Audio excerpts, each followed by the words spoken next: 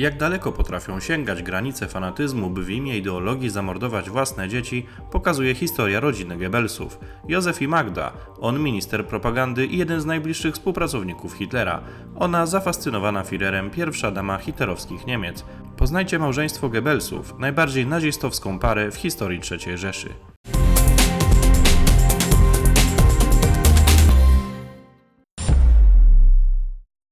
Poznali się w okolicach listopada 1930 roku. Józef Goebbels był już wysoko postawionym współpracownikiem Hitlera, a w NSDAP zajmował się sprawami propagandy. W odróżnieniu od Józefa, Magda miała już jedno małżeństwo za sobą. Była rozwódką, a dzięki dosyć wysokim alimentom mogła bez problemu utrzymać siebie oraz syna Haralda.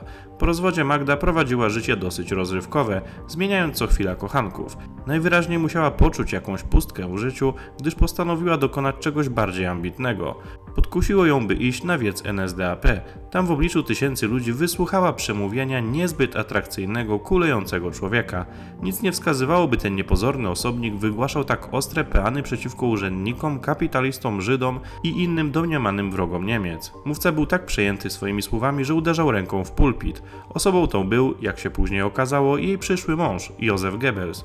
Magdzie zaimponowało to, w jaki sposób przemawiał, ale jeszcze bardziej zafascynowała go osoba, o której Goebbels zaczął opowiadać, gdy się nagle uspokoił, czyli Adolf Hitler.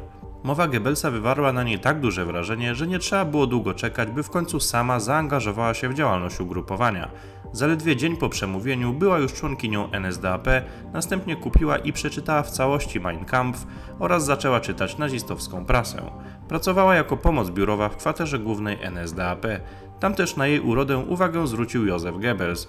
Pod pretekstem spotkania w kwestii zorganizowania mu tajnego archiwum, Magda po raz pierwszy pojawiła się w jego gabinecie. Wspólnie pracowali przy dokumentach oraz archiwizowaniu starych zdjęć z historii ruchu nazistowskiego. Z czasem wspólna praca przerodziła się w uczucie. Magda poznała też samego Hitlera, który doceniał jej zaangażowanie w akcje charytatywne, gdzie rozdawała zupę ubogim. To jak bardzo Goebbels był zafascynowany Magdą, można wyczytać w jego dziennikach, gdzie nie brakuje obszernych fragmentów poświęconych jej osobie. Nic dziwnego, że ta nazistowska para zakochanych zaczęła planować ślub. Pojawiły się jednak problemy. Jednym z nich był ostry sprzeciw byłego męża, Guntera Kwanta, który zagroził, że w razie ślubu Magda straci i alimenty, i opiekę nad synem Haraldem. Przed zaślubinami ostrzegała ją także matka. Na nic zdały się groźby i ostrzeżenia. Magda rezygnując z dóbr materialnych związała się z Józefem. Ślub odbył się 19 grudnia 1931 roku, a świadkiem był oczywiście nie kto inny jak sam Adolf Hitler. Do dziś historycy spierają się, czy Magda faktycznie poślubiła Goebbelsa z miłości, czy może chodziło jej o to, by być bliżej Hitlera. W każdym razie małżeństwo zostało zawarte, a wkrótce po nim narodziło się pierwsze dziecko. Była nią córka Helga. Goebbelsowie musieli mieć mocne parcie na wielodzietność, gdyż w niedługim czasie Magda urodziła kolejne pięcioro dzieci. Hildegardę, Helmuta, Hedwigę, Holdin i Heidruna. Gdy się bliżej przyjrzeć imionom tych dzieci, to wszystkie zaczynają się od litery H, co większość interpretuje dosyć jednoznacznie. Od 1933 roku, gdy Józef Goebbels wszedł w skład niemieckiego rządu i będąc zawsze blisko Hitlera, wydawało się, że małżeńska sielanka trwać będzie latami, a jednak już w roku 1936 pojawiły się pewne problemy. Okazało się bowiem, że wierność nie jest mocną stroną Józefa, który zaczął żonę zdradzać. Rozwiązłość Goebbelsa była ponoć tak duża, że na ulicach Berlina co niektórzy złośliwcy opowiadali sobie na ten temat kawały. Najgłośniejszym romansem ministra propagandy był związek z czeską aktorką Lidą Barową. Goebbels był na tyle zapatrzony w swe nowe miłosne uniesienie, że postanowił o nim poinformować małżonkę. Magda Goebbels nie miała zamiaru tolerować obcej kobiety u boku męża i obawiając się, że ta zajmie jej miejsce, wpadła w wściekłość. Wtedy też na scenie, niczym specjalista od terapii małżeńskich, pojawił się Adolf Hitler. Kanclerz z racji tego, że lubił przebywać w towarzystwie tak Magdy, jak i Józefa, zmusił niewiernego małżonka, by powrócił do żony. Goebbels niechętnie posłuchał swojego Führera i małżonkowie musieli się pogodzić. Sam Hitler tak bardzo cenił Magdę, że nie bez powodu przypadł jej przydomek pierwszej damy III Rzeszy. W historii hitlerowskich Niemiec była ona stawiana za wzór kobiety nazistki. W okresie wojny, podczas gdy w okupowanej przez Niemcy Europie ginęły dzieci wszelkich narodowości, to rodzinka Goebbelsów miała się całkiem nieźle. Typowym i charakterystycznym obrazkiem były wizyty dzieci Goebbelsów u wujka Hitlera i śpiewanie przez nie nacjonalistycznych pieśni. Kryzys dla nazistów na dobre nastąpił w 1944 roku, gdy los Rzeszy był już praktycznie przesądzony.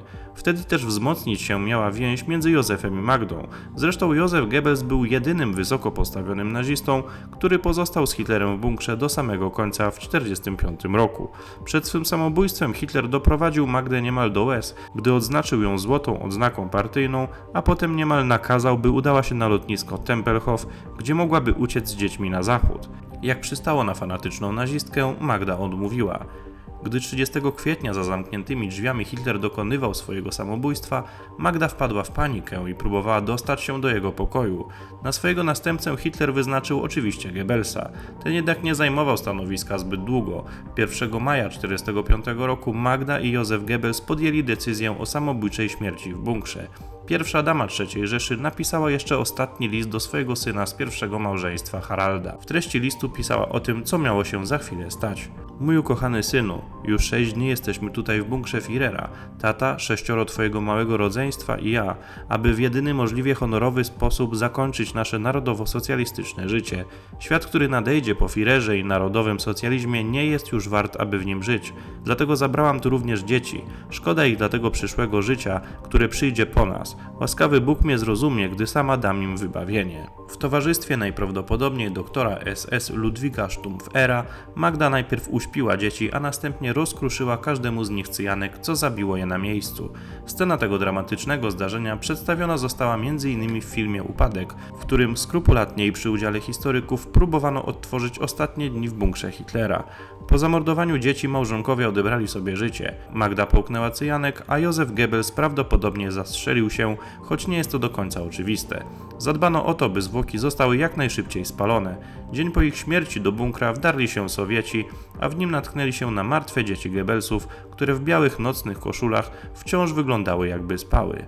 Na tym jednak historia się nie kończy.